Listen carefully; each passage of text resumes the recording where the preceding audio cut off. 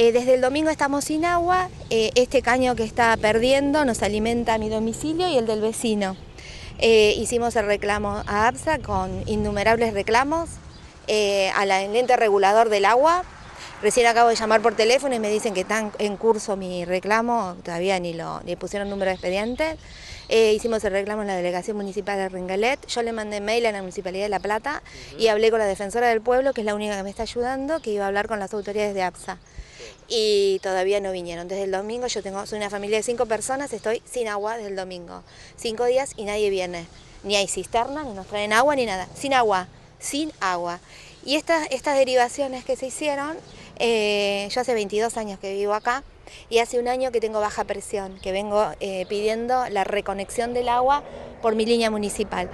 Y esta reconexión eh, un capataz de obras sanitarias que vino, eh, me dijo que era ilegal, que como que la derivación me la habían hecho trucha, digamos, gente que se ha conectado ilegalmente ha puesto mi, caño ilegal. Así que ese es el reclamo. Y acá lo que pasó que es que reventó un caño y por eso semejante pérdida de agua. Es cierto, y el caño que reventó justo es el que me alimenta a mí. Claro, o sea que perdiste, como decías, totalmente la, la presión, directamente no te llega el agua. No me llega el agua, no.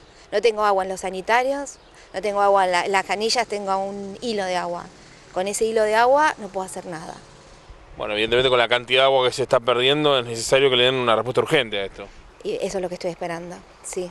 Vos llamaste de que se cortó, que estaba haciendo los reclamos y estás esperando que, aparezca la empresa. Todos los días, 10 veces por día, llamo.